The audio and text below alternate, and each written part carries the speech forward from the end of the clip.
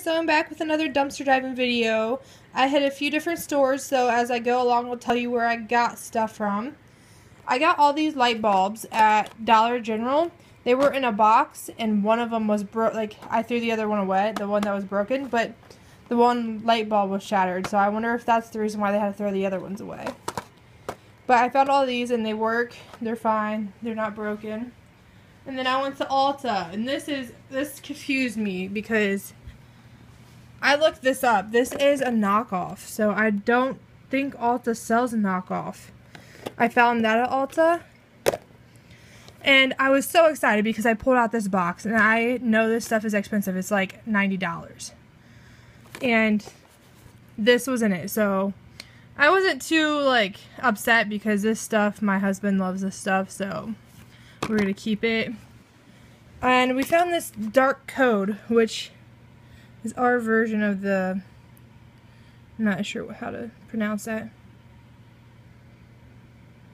Armanena code. I'm not sure how to pronounce that. But that's in there. And then I found this makeup. And it was open. And it's half gone. so, yeah, that's all I found in Ulta today. And I was really, really excited about this haul. This fine. Because I found a bunch of stuff at Sally's. And to me, it sounds like they're all full, so that's pretty cool. I got a few different things. I got this Ion Color Hairspray. That's pretty cool. I'm not sure what some of this stuff is. If you guys want like a review on it, let me know. I found that. Some more Ion stuff.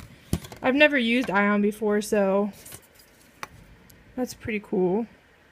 Shaping mist.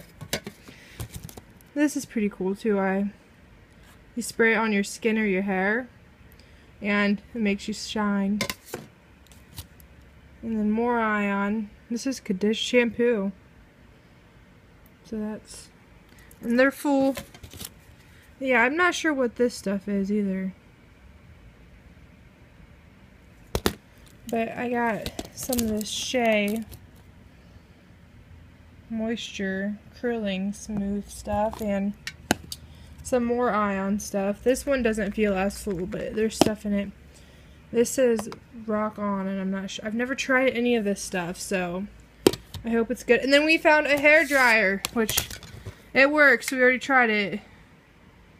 So, happy about that because mine, I break so many hair dryers. It's ridiculous.